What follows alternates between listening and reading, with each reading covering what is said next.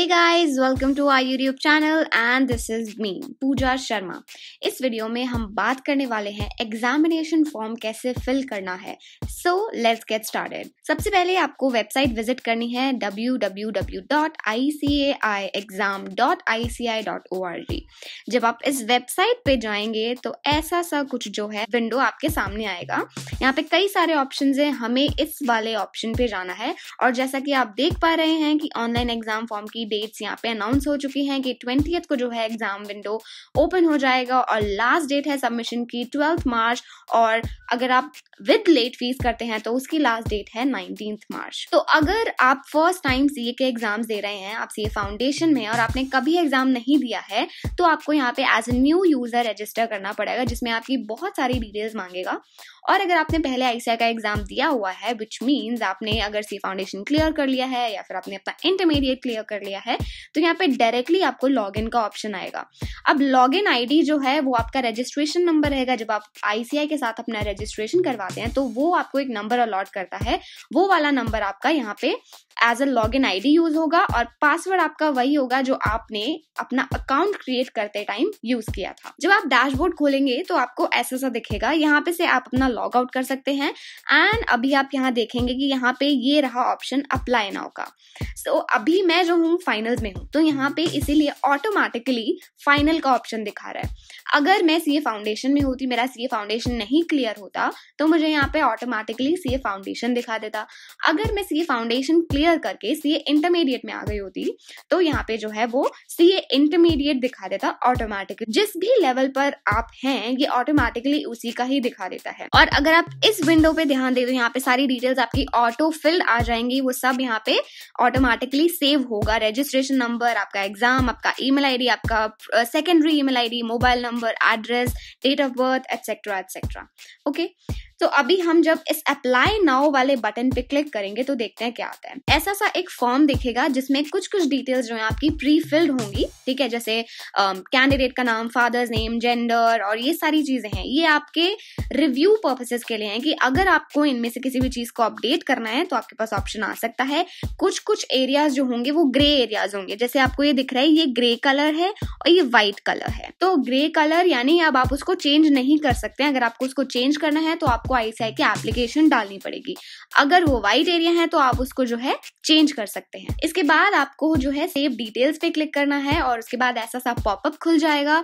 Just read whatever is written your I have read and understood guidance notes have download the format of declaration or certificate of service if applicable I have scan the copy of declaration or certificate of service with necessary attestation I have banking details required for making the online payment through debit or credit card आपको कुछ नहीं करना, सिर्फ़ okay पे click कर देना है and then you will move on to the exam application form अब यहाँ पे देखिए आपका रजिस्ट्रेशन नंबर लिखा हुआ आएगा, और ये जो है फाइनली हमारा एग्जामिनेशन फॉर्म है, जिसको हमें अभी फिल करना है। तो बहुत सारी डिटेल्स इसमें मांगते हैं हमें। तो सबसे पहले हम सेलेक्ट कर लेंगे, अपना रजिस्ट्रेशन नंबर हमारा हो गया मीडियम हम इंग्लिश सेलेक्ट कर लेंगे। अगर आपने स्टार्टिंग से ही इंग्लिश में पढ़ाई करी है तो आपने शायद रजिस्ट्रेशन करवाते टाइम भी अपना लैंग्वेज जो है इंग्लिश चूज़ करा होगा। बहुत ही कम स्टूडेंट्स होते हैं जो हिंदी सेलेक्ट करते हैं सो इसको आप ध्यान से सेलेक्ट करना। Region of examination centre northern southern western eastern या फिर सेंट्रल अगर आपको श्योर नहीं है कि आपका कौन सा रीजन एप्लीकेबल है प्लीज़ आप अपना नियरेस्ट आईसीआई ब्रांच देख लीजिए, उसको कौन मॉनिटर करता है? एनआईआरसी या फिर एस आई आर सी या फिर डब्ल्यू आई आर सी तो ये सब चीज़ें जो है आप देख लेना ध्यान से। उसके बाद आपको जो है एग्जामिनेशन सेंटर सेलेक्ट करना पड़ेगा। हमने रीजन सेलेक्ट कर लिया, अब हमें name of examination centre select करना है। अब since I am from Faridabad तो मैंने नॉर्दर्न सेलेक्ट करके मैंने डायरेक्टली यहाँ पे फरीदाबाद सेलेक्ट कर लिया। उसके बाद ऑटोमेटिकली वहाँ पे डिस्प्ले हो जाएगा। उसके बाद आपको सेलेक्ट करना है कि आप कौन कौन से ग्रुप में अप्लाई करना चाहते हैं। ठीक है, उसके बाद आपको अपना एक पिन नंबर सेट करना है। यहाँ पे पिन नंबर आप कुछ भी लिख सकते हैं one two three four six three five eight कुछ भी आप लिख सकते हैं। ठीक है, अब हमें ये ध्यान रखना है कि ये जो पिन हम सेट कर रहे हैं, हम इसको भूले ना। आप इसको नोट डाउन करके रख लीजिए, कहीं अपने डॉक्यूमेंट्स में या फिर अपने मोबाइल फ़ोन में सेव करके रख लीजिए। क्योंकि जब हमारा रिज़ल्ट आता है तो रिज़ल्ट में हमें हमारा जो है एनआरओ नंबर चाहिए होता है, यानी हमारा रजिस्ट्रेशन नंबर चाहिए होता है, फिर हमें हमारा रोल नंबर चाहिए होता है और हमें हमारा पिन चाहिए होता है। ठीक है? तो ये सब चीज़ें आप ध्यान में रखना, इनको भूलना मत। उसके बाद आप अपना आर्टिकलशिप स्टेटस बता सकते हैं। अगर आप आर्टिकलशिप कर रहे हैं तो आपको ये बताना होगा कि आपने कब आर्टिकलशिप शुरू करी थी, कब आर्टिकलशिप आपकी खत्म होगी। ये रहा डिक्लेरेशन और सर्टिफिकेट ऑफ़ सर्विस वाला। अगर आप आर्टिकलशिप कर रहे हैं तो आपको अपने प्रिंसिपल से एक डेक्लेरेशन साइन करवाना होता है कि हाँ मैं इसको छुट्टियों पे भेज रहा हूँ, ये एग्ज़ाम दे सकता है। ये डेक्लेरेशन सभी आर्टिकल्स को लेना पड़ता है। And this is how a declaration looks like जिसने आपकी सारी डिटेल्स हैं. इट्स बेसिकली एनओसी टाइप का है. नो ऑब्जेक्शन सर्टिफिकेट कि आपके प्रिंसिपल जो है, उनको कोई ऑब्जेक्शन नहीं है आपके एग्ज़ाम देने से. अपने काम वाम जो वो सही से करा था. यहाँ पे आपके सिग्नेचर होंगे आपके प्रिंसिपल जी के. उनका नाम होगा, उनका मेंबरशिप नंबर होगा सिग्नेचर डेट एंड ऑल वो सारी चीज़ें आपको यहाँ पे मेंशन करनी होंगी. और ये ही डॉक्यूमेंट जो है आपको अपलोड करना होगा. मेक श्योर sure कर लें कि जो साइज़ है डॉक्यूमेंट का, आप जे पैक कर सकते हैं पीडीएफ फ़ाइल कर सकते हैं पीएनजी फ़ाइल कर सकते हैं. उसका साइज़ जो है hundred to three hundred K B तक का ही होना चाहिए। यहाँ पे इसको आपको अपलोड करेंगे तो उसका नाम जो है यहाँ पे ऐसे दिख जाएगा। उसके बाद अगर आप फाइनल में हैं, आपने कोई ग्रुप पहले क्लियर करा हुआ है तो उसकी डिटेल्स भी आपको भरनी होंगी। अगर आप सी इंटरमीडिएट का सेकंड ग्रुप दे रहे हैं और आपका ग्रुप वन जो है, वो क्लियर है तो उसमें भी आपको फिर जो है ग्रुप टू की डिटेल्स देनी पड़ेंगी। आपको ये सारी चीज़ें डिटेल्स आपको मेंशन करनी ज़रूरी है इफ़ एप्लीकेबल अगर आपने कुछ भी नहीं क्लियर किया हुआ है तो आपको डेफिनेटली ये नहीं भरना है। उसके बाद जब आप सबमिट पे क्लिक करेंगे तो उसके बाद ये जो है आपका ऐसे प्रिव्यू का ऑप्शन आएगा। उसमें बस ये लिखा हुआ है कि this is only a preview of your application for final old course this should not be send to ICI हम ये जो एग्जामिनेशन फॉर्म भर रहे हैं, ये हम आईसीआई को नहीं सेंड करने वाले हैं, ठीक है? अगर कुछ करेक्शंस और चेंजेस हैं, आप अभी कर सकते हो बैक टू फॉर्म पे क्लिक करके। अगर डिटेल्स करेक्ट हैं तो आप डेक्लेरेशन को रीड कर लीजिए। आई अग्री पे क्लिक करके आप जो है फाइनल सबमिशन कर सकते हैं और आप अपनी पेमेंट कर सकते हैं। ये आपको फिर से रिव्यू करने के लिए देगा कि देखो, आपने ये सारी डिटेल्स भरी हुई हैं, ये आपने सेंटर सेलेक्ट करा है और ये आपके सेंटर का कोड है, फिर उसके बाद आप देख लें कौन सा ग्रुप आपने अप्लाई करा है।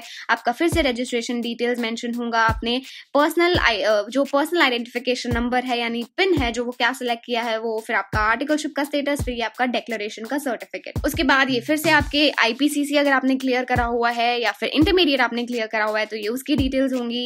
एंड देन अगर आपने फाइनल क्लियर हो तो उसकी डिटेल्स सब आपने मेंशन जो आप फॉर्म भर के आए थे, ये उसी का ही एक प्रिव्यू दे रहा है आपको कि ये ये डिटेल्स आपने भरी हैं। अगर आपको कुछ करेक्शन करना है तो आप अभी जाके कर सकते हो। उसके बाद लास्ट में आपको जो है फ़ीस का ऑप्शन आएगा, दिखा देंगे कि आपको कितनी फ़ीस भरनी है। तो आप जब इस पे क्लिक कर देंगे और फाइनल सबमिट कर देंगे तो आप जो है पेमेंट गेटवे पे रीडायरेक्ट हो जाएँगे। तो हमने पहले आई एग्री को सिलेक्ट किया, फिर हम फाइनल सबमिशन पे सिलेक्ट करेंगे। उसके बाद फिर से एक पॉपअप आएगा, जिसमें ये पूछेगा are you sure as no change or edit of application will be allowed after submit आप जो है यहाँ पे देख लीजिए, ध्यान से पढ़ लीजिए कि कोई एडिटिंग नहीं अलाउड होगा। एक बार आपने सबमिट कर दिया तो आपके फॉर्म में कोई भी चेंजेस हम अलाउ नहीं करेंगे। तो हमें क्या है? ओके पे क्लिक करना है और इसके बाद हमें ऐसा सा विंडो देखने लग जाएगा और यहाँ पे मेक पेमेंट का ऑप्शन आ रहा है। फिर मेक पेमेंट पे हम जाएँगे तो हमें पेमेंट गेटवे दिख जाएगा। यहाँ पे अगर आपका कोई कार्ड सेव है तो हाँ उसकी डिटेल्स यहाँ पे आ जाएँगी। नहीं तो आप net banking debit card credit card कोई भी ऑप्शन यूज़ कर सकते हो। इस एरिया में आपका फ़ोन नंबर रिफ्लेक्ट होना चाहिए। मैंने हाइड कर दिया है और यहाँ पे आपका ट्रांजेक्शन आईडी होगा। इसके बाद जो है आपका पेमेंट सक्सेसफुल हो जाएगा और आपको जो है एक पीडीएफ डाउनलोड करना होगा। वहाँ पे डाउनलोड करने का ऑप्शन आ रहा होगा। वहाँ पे से आपको डाउनलोड करना होगा और वो जो पीडीएफ होगा, वो होता है कॉन्फर्मेशन की आपने जो है एप्लीकेशन फॉर्म भर दिया है एग्जामिनेशन का और उसमें फिर से आपकी सारी डिटेल्स आएँगी। Name date of birth registration number apply date group कौन सा अप्लाई किया है और ऐसे से एक बार कोड जनरेट होगा और एक कंट्रोल नंबर जनरेट होगा। इसके बाद आपको करीबन एग्ज़ाम से एक महीने पहले आपको जो है एडमिट कार्ड आ जाएगा। वो एडमिट कार्ड जो है वो आपको अपना सेव करके रखना है। उसका प्रिंट लेना है, वो एडमिट कार्ड जो आएगा, उसका प्रिंट लेके रखना है और जब आप एग्जामिनेशन सेंटर जाएँगे, वो आपको कैरी करना है अपने साथ। उसके बिना जो है आपकी एंट्री नहीं होगी। एंट्री हो जाएगी बट आपको एग्ज़ाम नहीं देने पड़ेंगे। आपको वेट करना पड़ेगा। आपको घर से अपने एडमिट कार्ड मंगवाना पड़ेगा, दिखाना पड़ेगा और फिर ही जो है आपको आगे एग्ज़ाम देने देंगे। तो हमें बिल्कुल भी नहीं भूलना है कि एग्जामिनेशन फॉर्म भरने के बाद हमें एडमिट कार्ड भी डाउनलोड करना है उसकी जो है डिटेल्स आपको आईसीआई अनाउंस कर देगा और फिर जो है आप उसको डाउनलोड कर सकते हो। अगर आपको कुछ भी डाउट्स हैं तो प्लीज़ आप इस वीडियो के नीचे कमेंट्स करें ताकि हम उन डाउट्स को सॉल्व कर सकें। अगर आपको ये वीडियो पसंद आया है तो प्लीज़ प्लीज़ इस वीडियो को लाइक करें और सभी लोगों के साथ शेयर करें। And lastly do not forget to subscribe to our channel will be coming up with more videos like this thank you so much bye bye take care